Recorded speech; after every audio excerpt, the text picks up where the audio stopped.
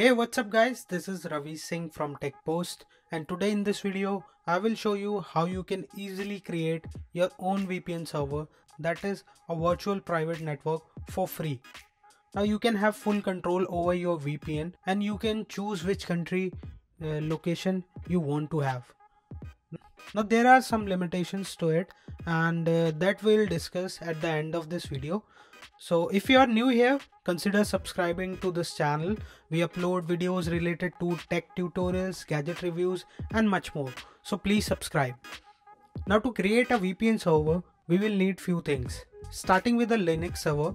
So we will first sign up at DigitalOcean as their servers are pretty good and you are charged on hourly basis but you don't worry just follow the link in the description. And uh, i promise you that you will get $10 free on your sign up at digitalocean. And you can use this credit to create a free server and use it for around a month or two. Now let's start setting up our server. So just go to the digitalocean.com and log in and then click on create droplet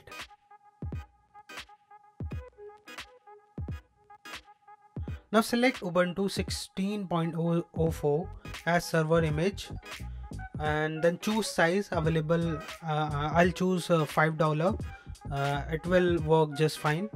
Now select the data center region. Now this will be the location of your VPN server and so choose it as per your preference. I will select Singapore. You can select any any of the data center. Your VPN location will be of there. So if you are living in India, if you choose US, your location will be shown as US when you use your VPN server. Now leave other settings as it is and uh, finally choose or enter a name of your server you want to give and click on create. I'll name it OpenVPN and uh, it will take a few seconds to deploy your server and uh, our server will be ready soon. Now we also need some other tools and let's download Putty.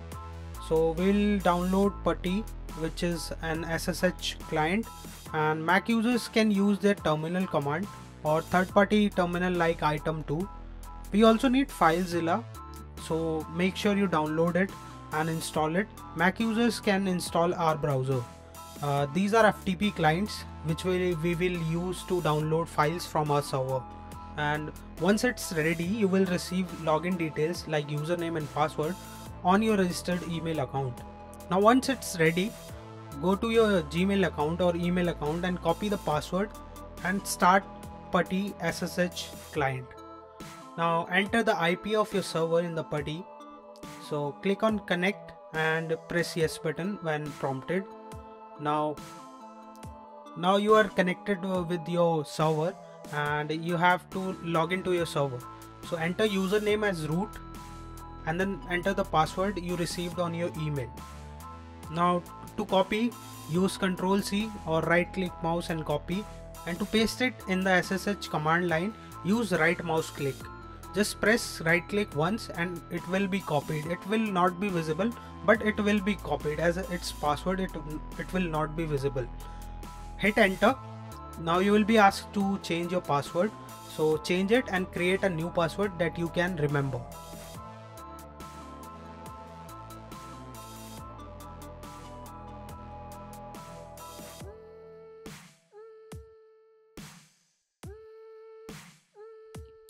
Now once done with that let's check for any update.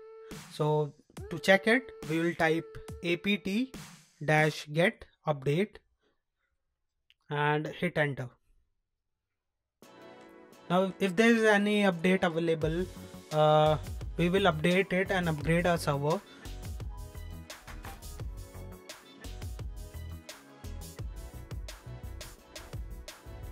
So to upgrade it, we'll type apt-get space upgrade space minus y and hit enter.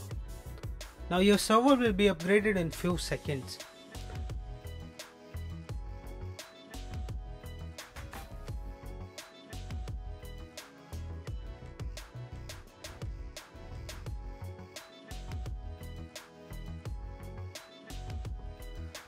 Now once it's it has been upgraded uh, you can go to the description uh, down below this video and uh, copy the command and paste it in the SSH terminal terminal using the right mouse click.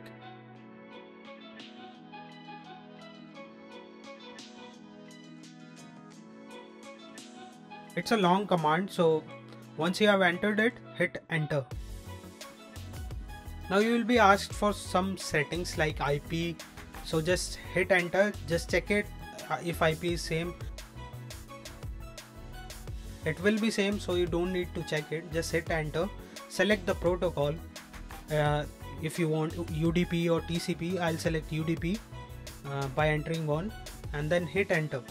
Now if port says 1194 hit enter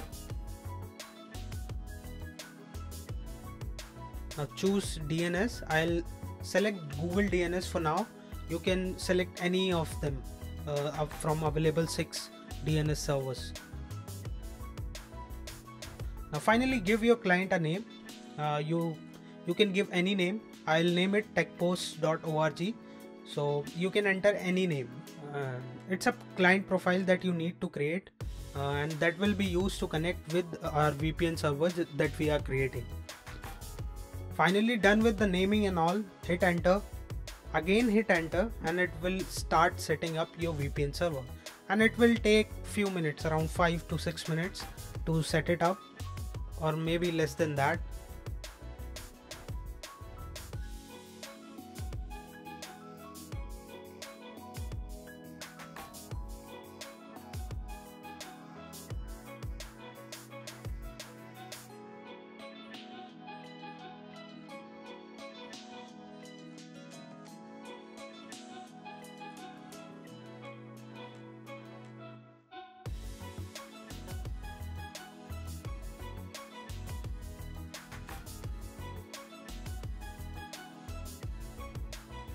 once it's finished it will show you a message that uh, your client configuration is available in the root directory with the name you provided and uh, with the extension .opvn. Now we will use FileZilla here to download OPVN file from our server. Mac users can use our browser instead of FileZilla because FileZilla I think I don't think it's available for Mac users so uh, I'll be using FileZilla. So open the FileZilla enter the IP of your server the username and password password that you have changed and um, enter 22 in the port field and then click on quick connect. Now it will load all files and directory present in your server. So just look for the file with the client name you provided earlier and extension .opvn uh, once you have find it just download it and uh, now we are almost there and uh, we need to download the OpenVPN client app to use our VPN server. So we will use uh, and download Pritunl which is uh, a free VPN client OpenVPN client. You can use any paid clients also to connect with your VPN server. It's totally up to you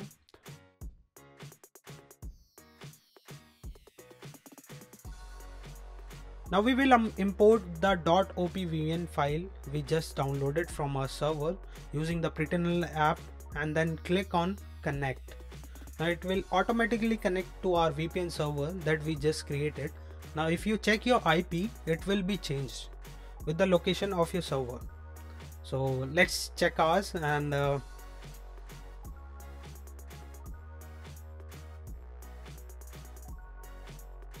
yeah our IP has been changed. It's showing that our IP that my PC or my location is Singapore. So you can also use this VPN server on your Android Mac or iPhone or iPad devices as I said earlier. All you have to do is copy the .opvn file or create or you can also create new new profile and then import it via client app you can download OpenVPN client app on Play Store for Android and on App Store for iPhone or iPad. Just tap on the three dot menu, tap on import and then locate the .opvn file. Tap on connect button and you will be connected to your VPN server in no time. so this is how you can create your own vpn server guys for yourself and even share this with your friends family and relatives for secure internet surfing i hope you enjoyed this tutorial we have much more coming up so stay tuned. In upcoming guides we will discuss on hacking tutorials and some more innovative ideas. So please subscribe and share this video. Hit like if you loved it. It's been nice guys. Thank you. I'll see you in my next video